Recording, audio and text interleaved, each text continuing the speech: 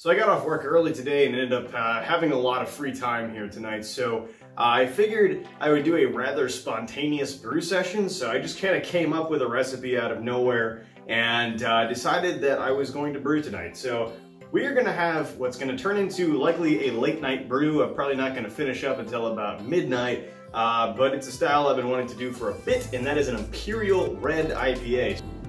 Hey loyal viewers, it's me Steve here, and uh, through the magic of editing, I have traveled to you from the future to inform you that every single time that I say the phrase Imperial Red IPA or Double Red IPA, what I really mean is American Strong Ale. We'll get into why exactly that is at the end of this video, but the beer that came out of this very seat of the pants brew was not bad, but definitely not an Imperial Red IPA. This is a very interesting example of an American strong ale. Think Arrogant Bastard by Stone.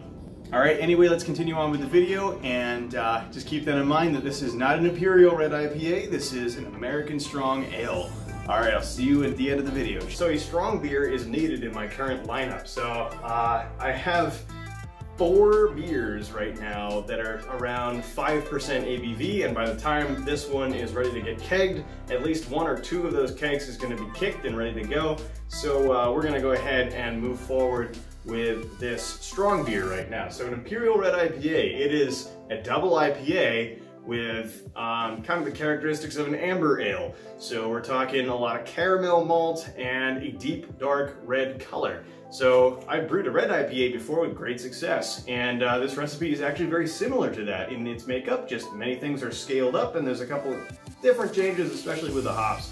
Uh, so what we're gonna do is try to go for something that's around 9% ABV and a serious, like, you know, 110 plus IBUs worth of bitterness. This is a style that I used to hate uh, before I really got into beer and brewing, uh, because it's just so aggressive. It's a ton of flavor. It's a lot of bitterness. It's a lot of malt character. It's a lot to process. Um, this is a very bitter, aggressive, and in-your-face beer that uh, it's really only a select group of people like. You're gonna like it if you're a hophead, um, but you're also gonna like it if you really like big, strong beers, I think. It should be relatively bitter, but uh, overall a pretty fun and strong beer to brew. The recipe is 10 and a half pounds of two-row malt, uh, four pounds of Munich malt, three quarters of a pound of caramel 60, uh, half a pound of caramel 120, and half a pound of carapils, plus 0.1 pounds of chocolate malt to bring that color around and add a little bit of a nice subtle roasty toasty note in there that shouldn't affect too much. Um, and then a pound and a half of table sugar added at the end of the boil to bring our ABV way up. Um, as far as hops go, we're gonna be adding, let's see if I can remember this, we're gonna be bittering with Simcoe and Chinook, and that's gonna be a half an ounce of each. And then we're gonna do, and that's a 60 minute edition, uh, and then we're gonna do a 30 minute edition with half an ounce of Simcoe, Chinook, and Amarillo. And then we'll do a 10 minute edition with the same half an ounce of Chinook, Simcoe, and Amarillo. Uh, and then we're gonna do a whirlpool at about 170 to 180 degrees for 20 minutes with an ounce each of Chinook, Simcoe, and Amarillo. So it's gonna be a really strong Pacific Northwest kind of hop uh, combination coming out of this with a ton of pine, a ton of citrus hitting it. And on top of that, we're gonna have this really beefy malt profile in there that uh, should have a little bit of caramel sweetness. So shooting for a original gravity somewhere around 1080 and hopefully if that goes all the way down to about 1010, we'll get about 8.5 to 9% alcohol. So we're gonna mash this at 150 degrees for 90 minutes. That gives us a little more fermentability, a little less body in the beer, uh, something that's gonna be fine because we're gonna have a lot of residual sugars from the caramel malts uh, so body is, having sufficient body is not gonna be a problem. So I'm gonna ferment with two packets of rehydrated US-05 dry yeast, and that should get the job done just fine. As far as water goes, obviously we're gonna wanna have more sulfates than chlorides in order to accentuate the hop bitterness. So this is my water profile. It's gonna be 78 parts per million of calcium, 22 parts per million of magnesium, 65 parts per million of sodium, uh, 245 parts per million of sulfate, 100 parts per million of chloride, and then I think it was, yeah, and then 36 parts per million of carbonate. So in order to achieve that profile, I'm adding only gypsum and Epsom. It's gonna be 10 grams of gypsum and six grams of Epsom salts uh, which I've already done. I'm heating up my mash water right now. I'm trying to make this as an efficient, I'm trying to make this as time efficient of a brewing process as possible because it's already 7 p.m. and I'm probably gonna be up till like midnight. I enjoy brewing probably a little too much, um, but this is gonna be my last beer I'm brewing for a while. Uh, it's going, my summer's about to get very busy for the next month or so, so uh, I've loaded up my kegs pretty much. I got a German Pilsner, a lager fermenting in here right now, and then this will be my ale fermentation to go outside of it simultaneously. So, so by the time those two are ready to go, these two kegs will have been kicked and I will have a full set of all four taps running with four wildly different beers. Once I get back from all the craziness that's gonna happen during the summer, um, I'm gonna have plenty of beer options to choose from and it's gonna be wonderful.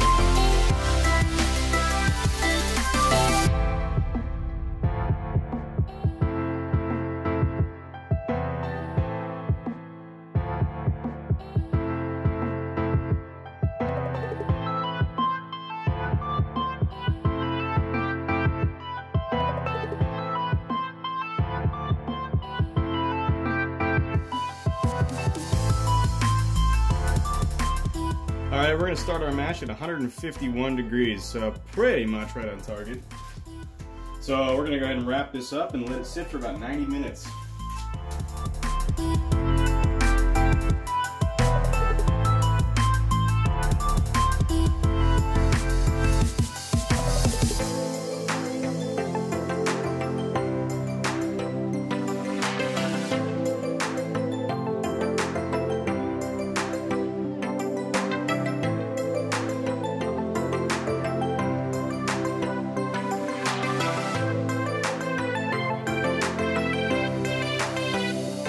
So it's about 10 minutes into the mash right now, so it's time to take a pH sample. Alright, so I think our pH is right about in the right neighborhood, somewhere between 5 and 5.5.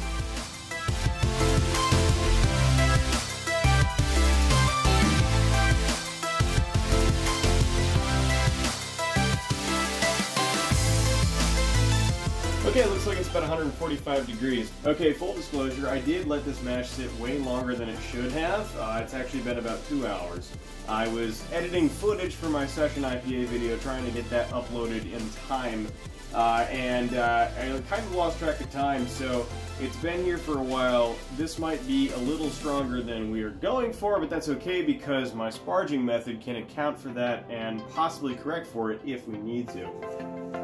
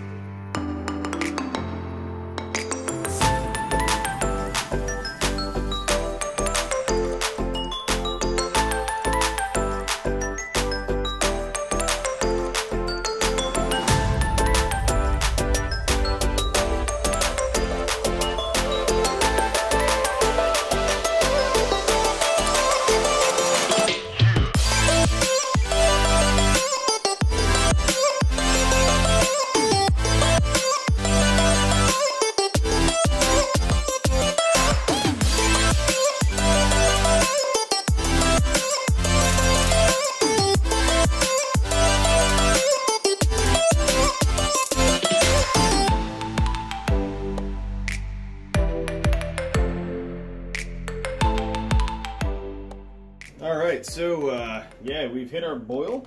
So it's time to add some hops. So we're adding our bittering addition here. So that's uh, just half an ounce of Simcoe and half an ounce of Chinook. Uh, both of these are very high alpha hops, which is why we're not using so much. In they go. Tie that off. All right, And now we wait for 30 minutes before adding any other hops. All right, so here's our pre-boil OG. Uh, it's about uh, 1.050, maybe 48, depending on where the actual line is. But um, I, yeah, I'm gonna call it 48, but still, looking like a pretty nice color. It's kind of orange right now, but uh, hopefully that darkens and turns to like a rusty red kind of color in the boil, which I'm pretty sure it will. Considering we were targeting 1.051 for our pre-boil OG, that's not too bad. Okay, so it's now 30 minutes from the end of the boil, so it's time to add our 30 minute hop addition, and that is half an ounce each of Amarillo, Chinook, and Simcoe.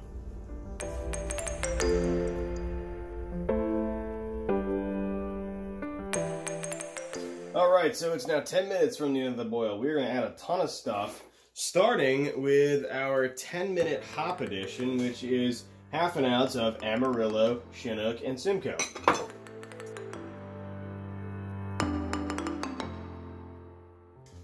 Next, we're going to add our chiller.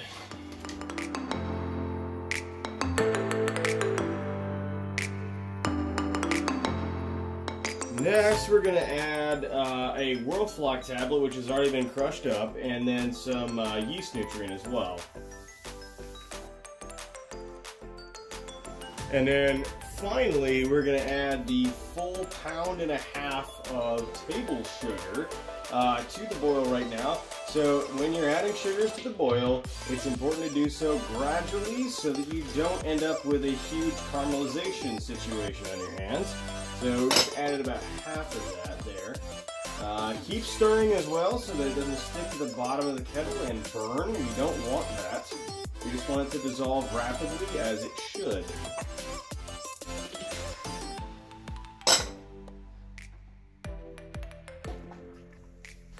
Okay, so uh, now we're gonna wait for another 10 minutes uh, and then we'll shut off all heat and we'll start cooling. Okay, so we've hit the end of our boil with zero boilovers and zero deaths. So it's time to shut off all the heat and uh, we're gonna go ahead and transfer this over to the cooling process.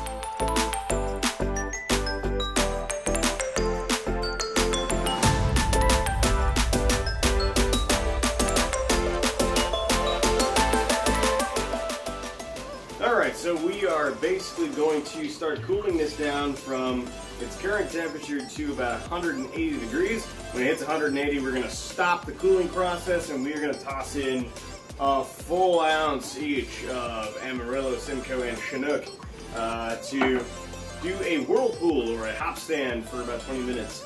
Um, but in the meantime, we're cooling it down and I'm just going to try and recycle some water by using my first chiller runoff. It's really hot to start up the uh, sanitation process for my fermenter. Uh, speaking of fermentation, it's actually a really simple fermentation, which is a nice change from the lagers that I've been kind of obsessively brewing over the last several weeks.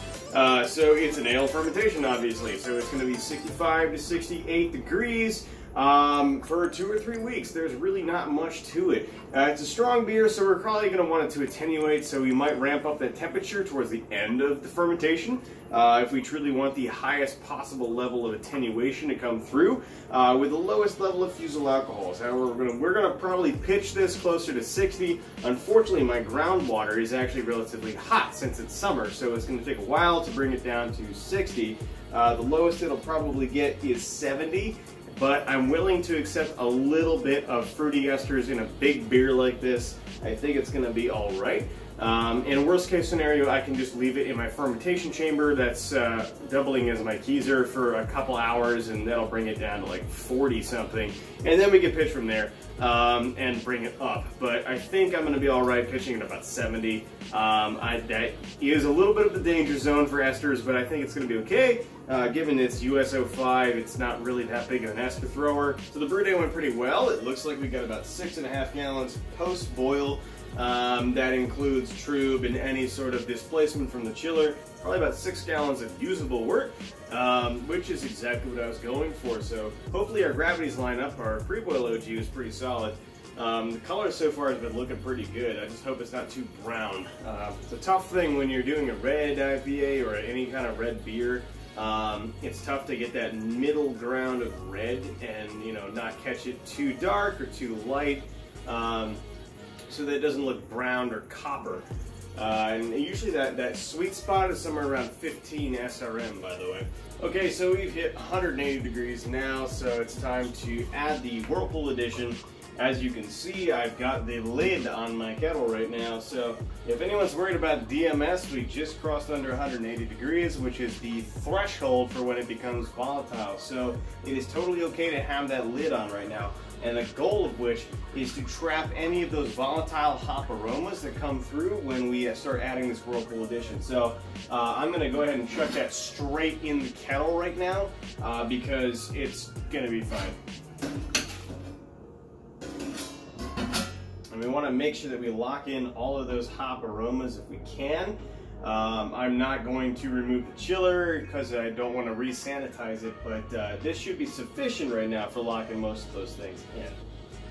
So we'll come back in 20 minutes and then we'll continue our chilling process. All right, so our uh, original gravity sample is here. It's uh, it's actually sitting at about 80 degrees right now because my apartment's ambient temperature is actually 80 degrees right now post brew. Uh, so given a little temperature correction, this turns out to be about 1078 OG, so that's two points lower than our estimated OG, which is really good because, well, that means we got the boozy, strong, hoppy beer that we wanted. So hopefully this turns out pretty good. Alright, so right now, it looks like the wort temperature is actually still in the 80s, which is actually, regardless of the time of night, you know, 1.30, um, it's clearly too high to pitch the yeast. I refuse to do that. There's going to be too many off flavors and fusel alcohols produced by producing uh, by pitching the yeast at 80s temperatures. That's just not going to happen. We're going to go ahead and cool this down, I think, overnight, and I'll pitch the yeast in the morning. It should be at a more acceptable temperature in the morning. Um, I just aerated the hell out of it, so it should be fine uh, as far as aeration goes. Um, but I'll probably whip it up again in the morning just to be sure. Uh, but for now, we're gonna clean up and I'm gonna go to bed because I am so tired. Okay, so it's the following morning and uh, I've left the fermenter out overnight and it seems to cooled down to the 70s, uh, which is fine. I think pitching yeast, hopefully it's gonna be okay. I pitched US-05 before at the 70s and I haven't really had too many issues. Uh, so we're gonna go ahead and re-aerate the wort again uh, and then toss the yeast in there.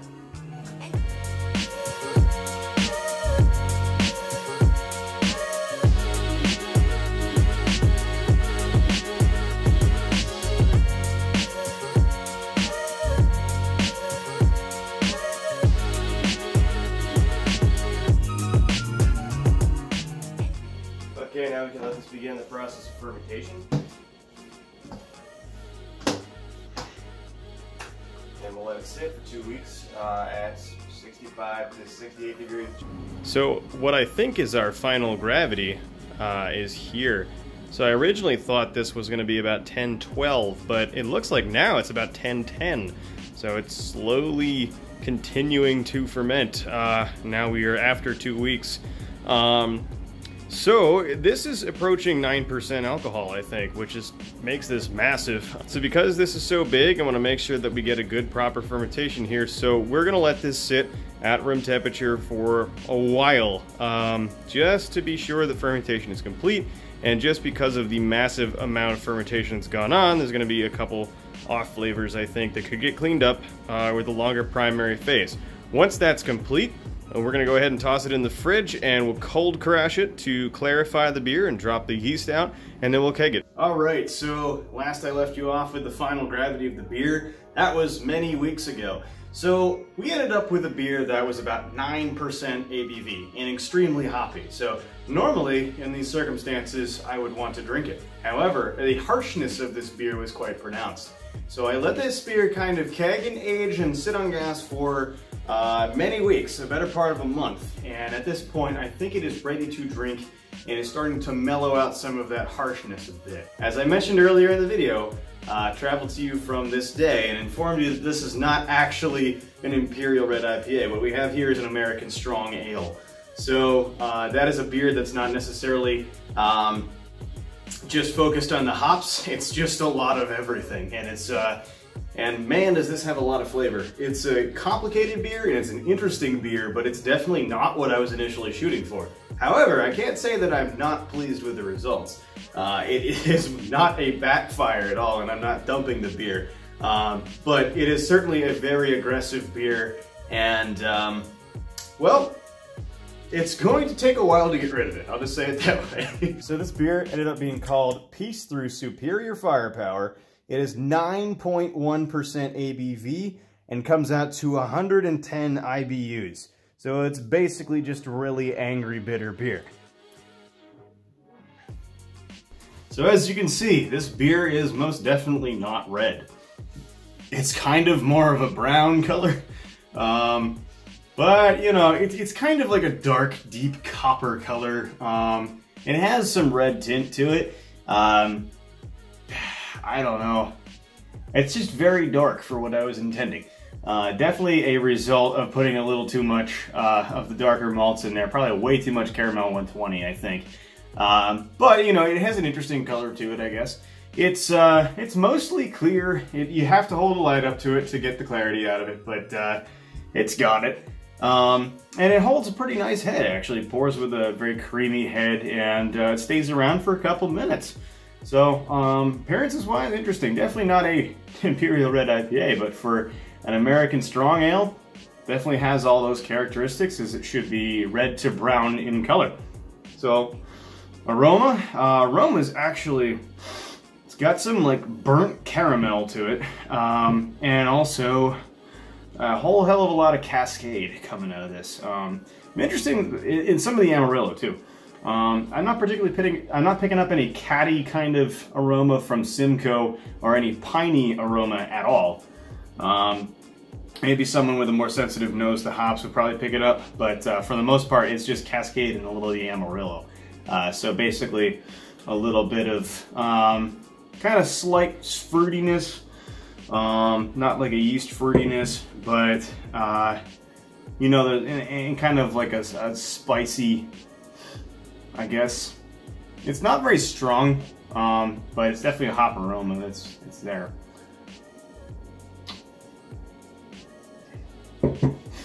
Uh, body of the beer, it's got relatively low effervescence, um, kind of a medium body. The percentage of alcohol in this does definitely deliver a, uh, a boost to the body itself. Um, the mouthfeel of the beer is The mouthfeel of the beer is relatively soft, um, which is, it's all right. Yeah, nothing to write home about. And then finally flavor, and this is probably where the, the most detail on this beer is gonna come from. So first of all, the first thing you will notice when you take a sip of this beer is it's bitter. this is an in-your-face, very aggressive, like angry bitterness. Um, it's uh, it's just really strong. 110 IBUs, right? So, I mean, I'm not surprised that this is going on. It has a gentle alcohol warming to it, but nothing that indicates the presence of fusel alcohol, so it's not like hot uh, in the back of my throat. But you can definitely, like most strong beers, you can tell that there is a significant amount of alcohol in here. The malt character of this beer is very strong. Um, while not perfect, it doesn't match the hops very well. So it's got a little too much caramel 120 in that. And uh, I say that because it has a almost bitter, darker caramel kind of woody note coming out of it um, from, I believe, the caramel 120. So if you've ever had a young barley wine, um, you might know a little bit about what I'm talking about. I'm tempted, very tempted to age this beer for a matter of months and see if it changes for the better. Um, most barley wines are very bitter and aggressive up front at first and they tend to age well. Um, and it might almost even end up like an English Burton ale. Uh, it, it, the beer itself doesn't quite fit into a style category uh, outside of American Strong Ale. Um, it is a little arrogant bastard-esque, uh, especially in my hop selection, and uh, in the the malt bill is more complicated than arrogant bastard. Uh, but this is one of those situations where everything didn't quite jive very well together. I tossed a lot of the similar ingredients in there from my standard red IPA recipe, but I just changed up the hops and then I obviously increased the amount and the number of different malts in there. Um, kind of expecting a linear scaling process, but that just definitely didn't happen.